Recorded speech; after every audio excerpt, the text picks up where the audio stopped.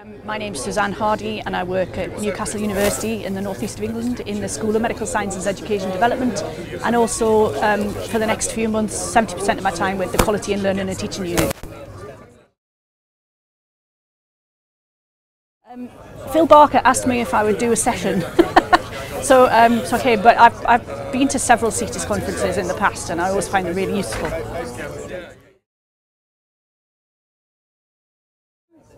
Well, what I always look for is an, one new idea that I can take back to the office. Um, and I think I've got one. So that's that's a result.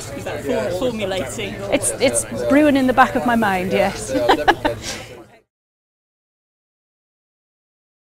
Um, yesterday I was in the OER and sustainability session and I was talking about um, what's happened at my host institution Newcastle since the three years of UK OER funding finished.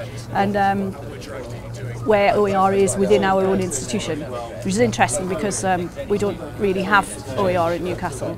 Um, I was working for the Higher Education Academy Subject Centre for Medicine, Dentistry and Veterinary Medicine before, and we were much more outwardly focused. Um, and so I could give a much better idea of what's happening nationally in medicine, dentistry and veterinary medicine than I actually can in my own institution, but I think that's going to change in the next few months.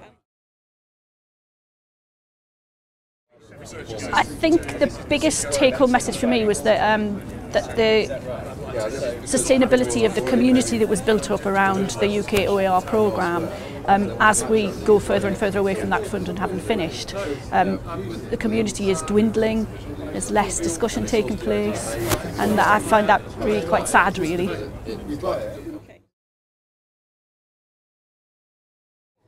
I think the thing that I value about CETIS is that they have a really good international perspective on what's happening in the world of um, learner technology, not just in interoperability standards, but in learner technology in general. And I find that overview really useful.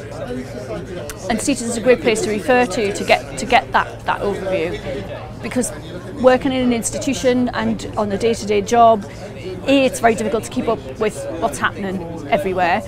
So it's really useful to have an organisation that kind of distills all of that down and, and makes it more accessible and kind of quick bite-sized chunks of information that you can pick up in, in your coffee break or whatever.